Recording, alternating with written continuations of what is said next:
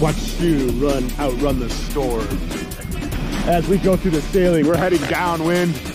Are we on a broad reach or a beam reach?